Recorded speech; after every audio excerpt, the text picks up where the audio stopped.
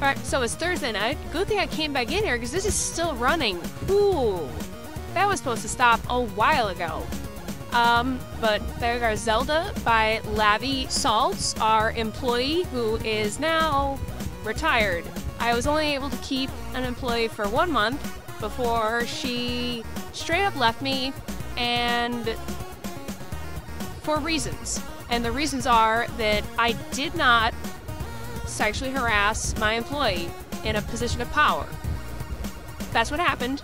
Uh, no, we only we only signed a contract for like a year. I mean a month. But I want to tell you all about this bullshit because came in this morning and we got a, a nice bird's nest because somebody decided to spin off and do their own thing. Uh, but now we need to inspect how it looks, and it looks pretty good. Pretty good. I'm not seeing any dripping resin or plastics, but I gotta clear this because if I'm gonna start another print in the morrow, I gotta gotta have the bed clear. Next up is I came in this morning and we had a problem here where it stopped and I was like, how did that happen? Oh, well, it ran on a filament. Why didn't the sensor go off? Oh, the sensor didn't go off because it somehow wrapped around, hooked into itself, preventing it from activating the sensor and just stopped. So the spool ran out and it failed because of that. Because it locked itself into this grid pattern. Great job. Mm, great job. Absolutely stupid. And then uh, we came over here and we had a shift. We had a shift right at the end. Something happened. That's really annoying. So, we have another failure on the pile. Sweep, sweep, sweep. Let's just restart everything. Why don't we? Alright, so it's Thursday now. Uh, oh, yeah, yeah, that was yesterday. This is now Thursday. It was Wednesday yesterday. Now it's Thursday. And we got a problem. Um, so I restarted these a little while ago. They're all going fine. I started this one this morning, and I trusted this one to do its best, and it sure didn't. Sure didn't. And it did something I've never seen before, which is it broke its own circuit board. Ripped the plug right off the motherboard. So this one's kinda dead. Kinda completely dead.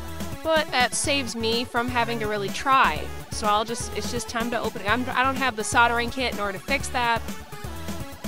Yeah. Alright, so it's easy peasy just pop in a new hot end and hope that everything works out. We do need to have to level the bed again though, because there's a chance that this thing is not the right distance. Alright, so here we go, making sure that everything is level, and it sure fucking isn't. Not at all. Yeah, that's not sticking even a little bit. Also, you can get this calibration test uh, that I made. You can get it on our Cult 3D store. It basically just does a bunch of rings so that you can dial in the setting and set the Z offset without having to do a lot of extra work. You and you just keep going until it sticks. So, making that Z offset really low.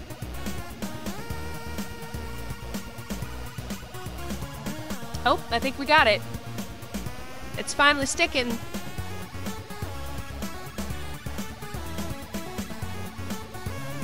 Ah, perfect. You can go a little. And that looks good. We're at negative 1.08. Now, we just released our Yor, Forger, and Anya figure today, and it is something to behold. They are looking great. Extra spicy. And we have other versions, including Futa versions of all of it. So make sure you check out the store to get them. And you can order them, and we can print them for you and paint them. Now we gotta figure out why this clear resin is not working for us. I've repositioned the file again, and we've lowered it. I've made it so that Zelda is up and down instead of side to side. Maybe that'll help.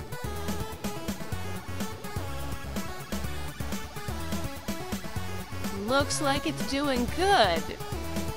Excellent. Uh, so that's the easiest fixing job I've ever had to do. Just swap out the whole head. But it looks like I'm out. Or do I have one more? So we gotta get the next part of Corona going. Okay, we got Corona going.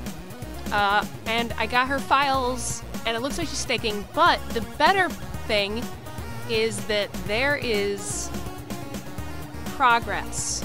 We finally have the clear resin printing something. So, finally ready to get a result. And I want to point out something else. So, see all this? They just keep sending me boxes. Because I bought up all the stock that Nova 3D had on resin. Apparently they were clearing out, they got a new formula, and they're like, we gotta offload all this stuff. You wanna take it? So they just keep sending me boxes every day. Every day. And I'm sure they're not done. There's just so much happening. So many boxes keep coming. Uh, now, we got... Right, we need to finish blades. Um, and actually, I think all of our Futa figures might be done and ready to go. So I'm gonna have to box those up tomorrow and get them out of here. Blades is still on the rack, on the rocks, because as you can see. And here's Chewy. What are you chewing? Oh, you just found a rat's nest of black plastic? Yep. Just loves the plastic. But we got our other printers. That thing's up and running and working great. This thing's up and running and working great. It's making a lot of noise, but for the most part, it looks to be printing fine. This is obviously brand new now, so that's working great.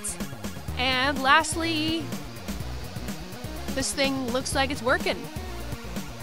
Somehow. Actually, no, it doesn't. It looks like it's peeling because... I don't know. That's not good. Why is there this big overhang with nothing underneath it? I must have screwed up.